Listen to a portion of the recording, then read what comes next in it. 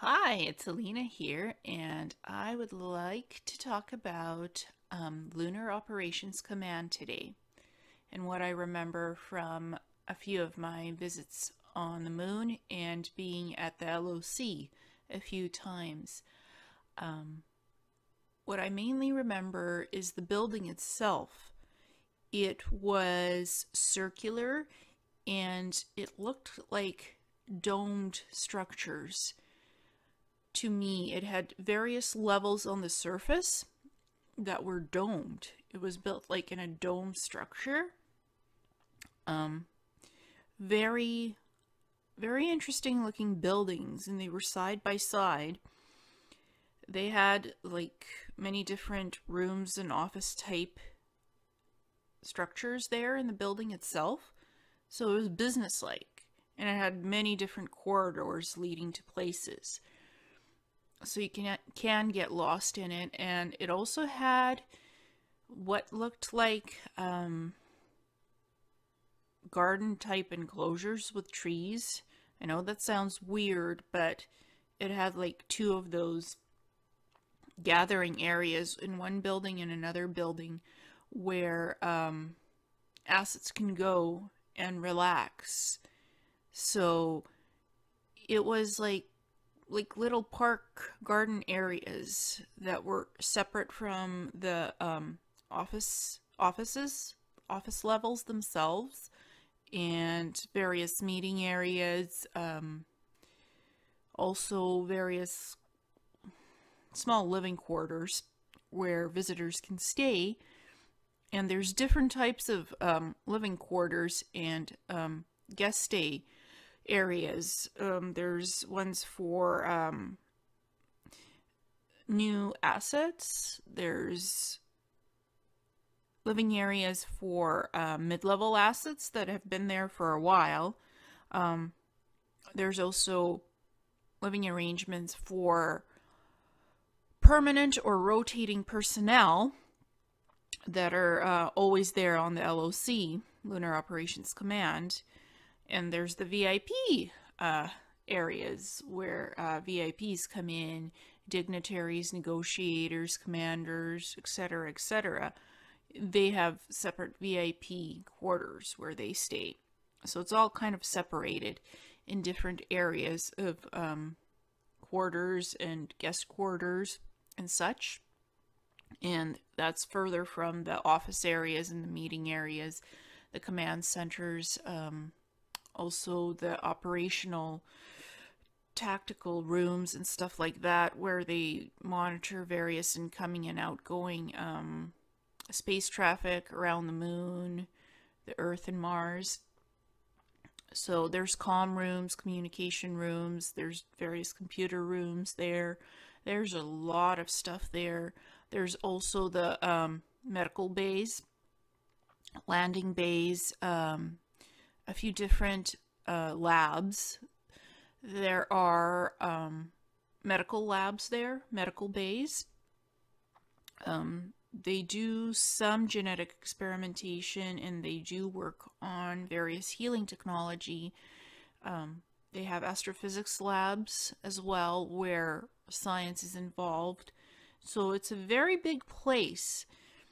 And there's a surface structure and that's that's basically a circular building with many other different out, out outer buildings around it. So, and it has many levels to that uh, building that's on the surface of the moon, and it's dome shaped. They're dome shaped.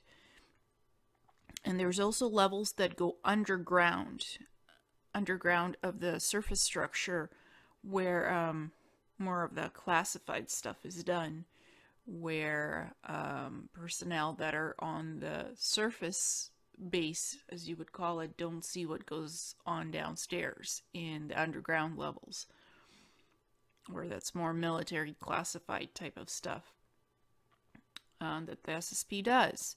It's more military levels to that base.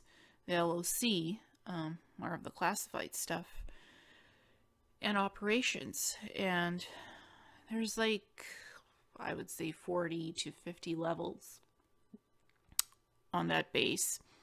It's very interesting, and from what I remember, to me, it did not look like a swastika of an old German base that was built out on the surface. It it had this more modern, sleek look with dome-shaped buildings, circular type buildings. A lot of white grayish stuff. Um, whatever material the base was built on on the surface, it is really kind of grayish white and it blends in with the surface features of the moon itself.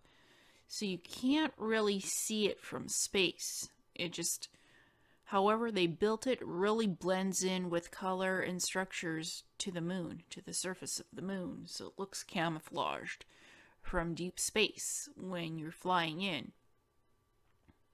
It's it's ingenious material building whatever they used to build it with, but it doesn't look like a swastika at all, and it's not an old German base that they built out on to make it bigger. That's not how I remember it at all. There have been other insiders who said that it the shape of the base looked like a swastika of an old German base, which to me it wasn't. That's not how it looked like.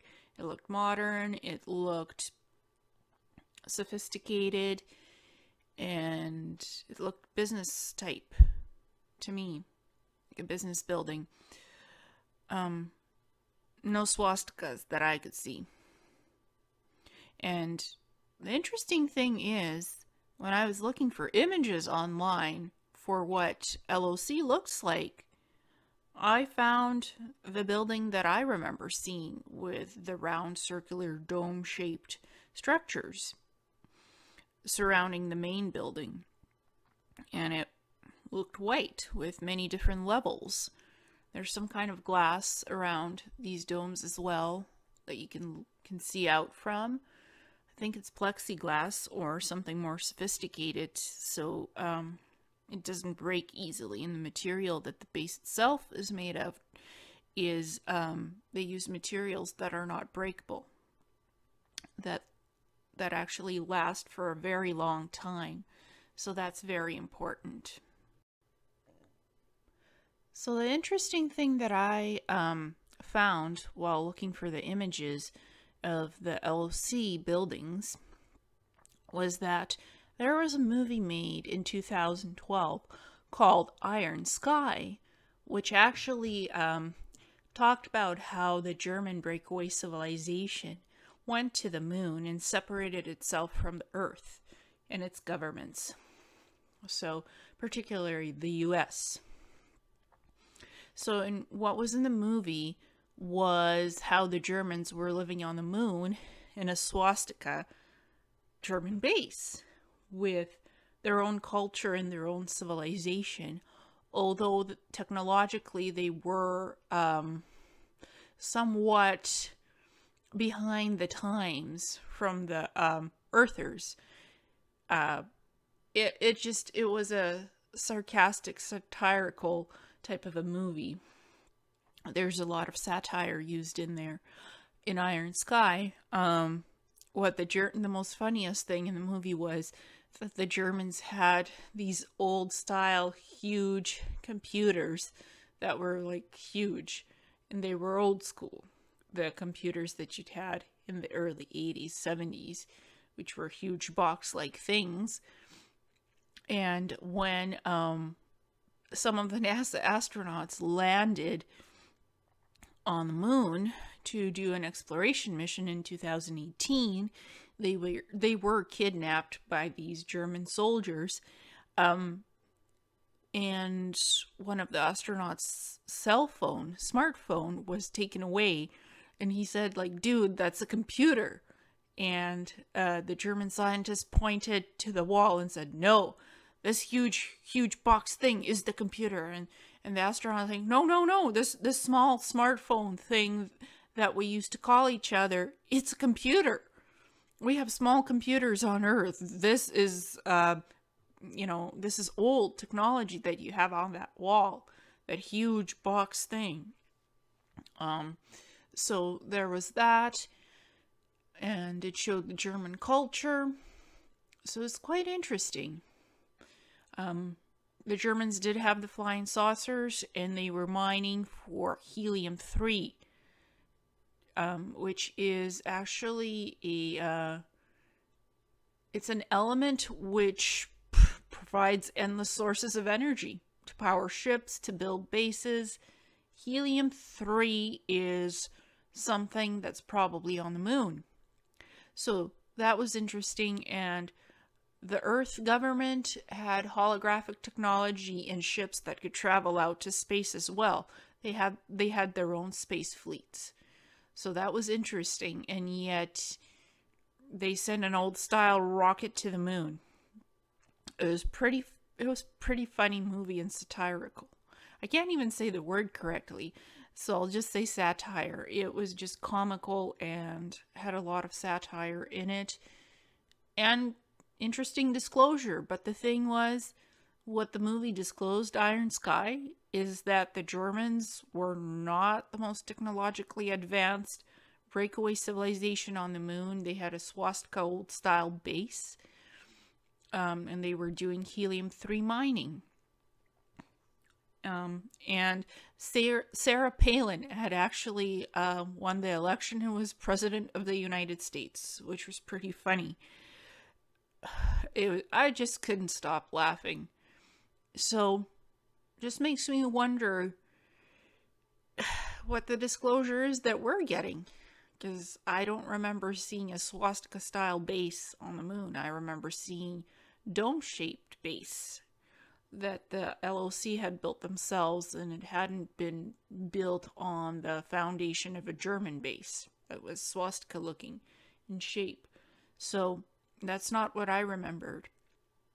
And in the movie Iron Sky, they had a swastika base. So just interesting to do a comparison analysis of what I remember, what's in Iron Sky, and what other insiders are sharing information about the type of LOC that they remember seeing. So I just wanted to share that with everyone, and thank you, namaste.